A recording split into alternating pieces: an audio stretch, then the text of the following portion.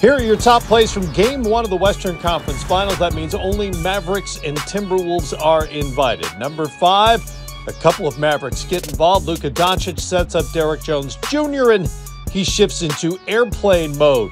Great patience by Doncic, and of course, Jones can absolutely fly. Number four, also on the Mavericks side, Kyrie Irving up against the clock, no problem as he sails through the air and shows off the touch just before the halftime buzzer. Number three, Naz Reid chasing down Josh Green after an incredible pass. Even better, Reid would hit a three on the next Minnesota offensive possession.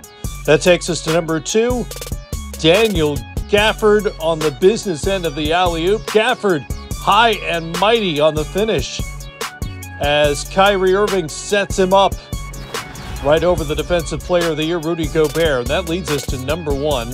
Speaking of flying in, Karl-Anthony Towns from out of nowhere comes in via the baseline and hammers it home for many. And those are your top plays from game one in the Dallas win.